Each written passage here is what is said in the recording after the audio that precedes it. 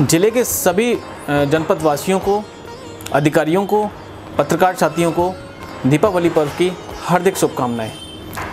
इस वर्ष हम आप सभी से अपील करते हैं कि मिट्टी के दियों का उपयोग करें ताकि अपने घर के साथ में उन गरीबों की भी हेल्प हो सके जो पिछले तीन महीने से मेहनत कर रहे हैं। धन्यवाद।